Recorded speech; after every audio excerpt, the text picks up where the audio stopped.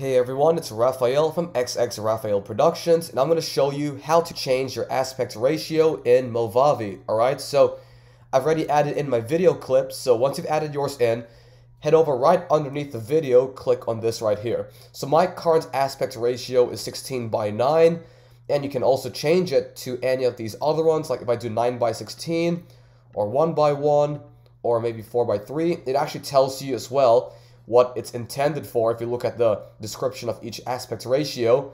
And you can also change it over here by going to settings. So click on settings and there's also a whole bunch of other ones that you can pick, all right? So you can do custom, you can also do any of these that are not listed in the initial um, options. And let's see, let's, let's choose um, 600 by 600 and click OK. And you can see that the video changes when we do that, all right? So yeah, that is simply how you do it. Um, thank you very much for watching. And if you have any extra questions, just comment down below. But I will see you soon.